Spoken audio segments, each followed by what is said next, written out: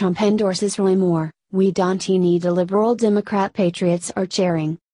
After several hints and messages from White House representatives, for the first time President Donald Trump has openly come out in full support of Alabama Republican candidate Judge Roy Moore for Senate.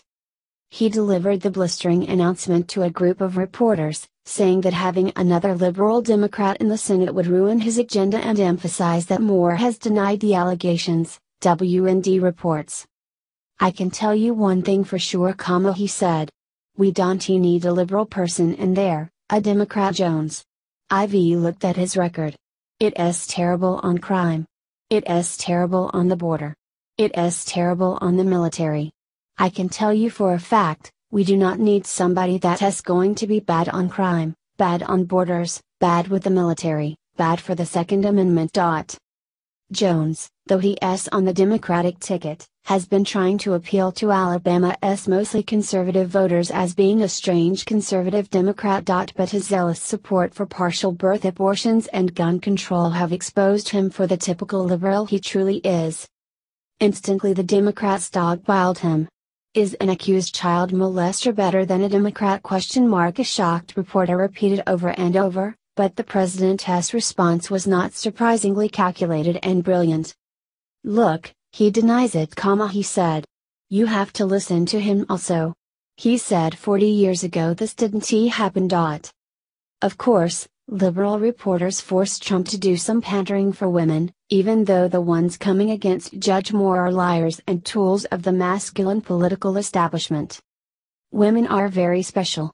I think it is a very special time, because a lot of things are coming out, and I think that is good for our society, and I think it is very, very good for women. And I am very happy a lot of these things are coming out. I am very happy it is being exposed. The political establishment has also dragged Trump over the coals for apparently responding much more swiftly to Democratic Senator Al Franken's scandal than Moore's, trying to expose him for bias. He could have instantly roasted the left wing propaganda slimeballs playing gotcha by pointing out that they are two completely different cases Franken obviously being guilty with photographed evidence, and Moore's so far innocent. But the president mercifully said this instead. Look, I don't want to speak for Al Franken. I don't know what happened, Trump said. I just heard about Conyers two minutes ago.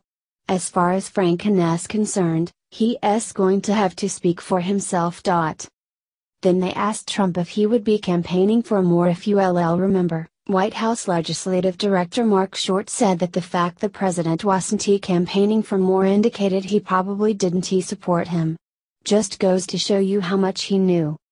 Trump's response gave Mitch McConnell and John McCain simultaneous heart attacks. I'll be letting you know next week, comma he said, hinting that he is about to go all in for Moore, before boarding the Marine One on his way to his Thanksgiving celebration in Florida.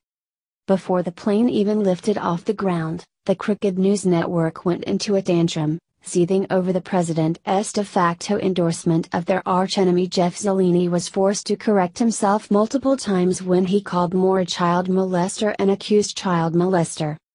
To sprinkle salt on many a liberal's wound, Politico reports that the president expressed skepticism of the women accusers in private all along.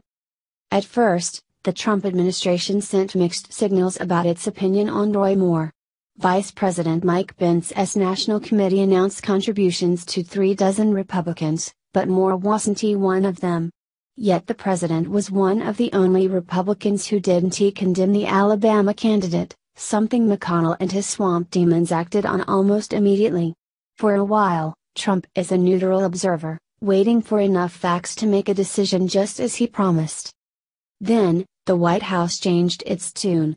Trump gave personal approval to Kellyanne Conway to launch an attack on Moore's opponent, Democrat Doug Jones, during an interview with Fox and Friends. Conway tore into him, calling him a fake conservative who shouldn't fool the voters, and declaring that a vote for him is a vote against tax reform.